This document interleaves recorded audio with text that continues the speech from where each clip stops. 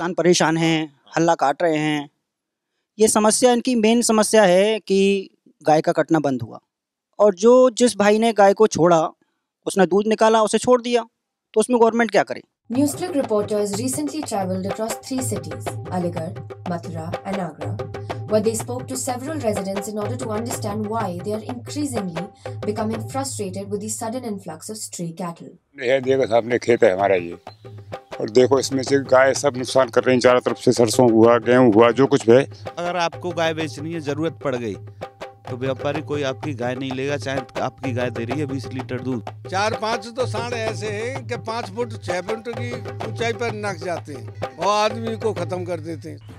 The farmers believe that the government should step in and fund gaushalas in villages, as was promised. Our reporters came across Kishan Maharaj, who runs his own gaushala. He's a member of the Hindu Yuva Vahini, a far-right Hindu nationalist organization founded by Yogi Adityanath. He has been running the gaushala for 11 years without any financial aid from the government. We believed if the government was serious about protecting cows, it would certainly be aiding him. गौशाला आप चला रहे हैं दो parts में 200 गाय के आसपास आपके पास हैं अभी गौशाला में तो ये दो गौशाला को चलाने के लिए कैसे पैसा कहाँ से आता है जिस दिन नहीं आता है रास करके बैठ जाता हूँ तो कहाँ नहीं कहीं से अपना सहायक बना के भेजता है कि चल माँ गायों के लिए गाय भूखी ऐसे ही चल रहा है। पूरे 11 साल से ऐसे ही चल रहा ऐसा ही चल रहा है दोनों जगह। आपको क्या लगता है वो जो गौरक्षा समिति थी या ये जो संस्था ये कुछ काम कर भी रहे हैं या एक हंगामा क्रिएट किया खाली एक हंगामा है इनका। हाँ ये काम करे तो ये गाय रोज ना लदने जाती हैं और फिर कटने जाती हैं ये पकड़ी जाती हैं फिर ये हिंदू परिषद के वाहनी के जो लोग हैं एक एक गाय रखी तो गाय कटेगी नहीं कभी नहीं कटेगी Another member of the Hindu Yuva Vahini, Ashok Goyal, when asked about the cow menace, said the onus is on the farmers.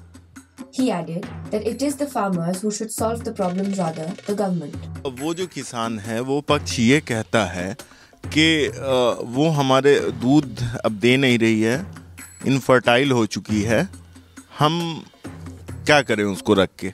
अच्छा तो क्या जो माँ बाप बड़े हो जाते हैं या बुज़ुर्ग हो जाते हैं बच्चे उनके बड़े होने के बाद तो क्या उनको वो छोड़ देते हैं?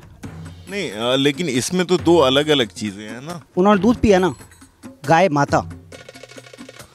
तो छोड़ने तो अच्छा काम तो नहीं कर रहे हो? लेकिन जिसने भी छोड़ी हो नुकसान तो उसका हो रहा है। उसने उतना पैसा लगाया है फ़सल लगाया है मेहनत किया है उसने। ठीक है वो बात। उसका नुकसान हो रहा है लेकिन उसको ये भी तो मालूम है कि उसके किसी न किसी ने भाई ने छोड़ी है उसके। तो वो ज़िम्मेदारी भी उसकी बनती है या नहीं बनती? तो बेसिकली आप ये कह रहे हैं कि ये सारी ज़िम्मेदारी लोगों की है जिन्होंने छोड़ा है।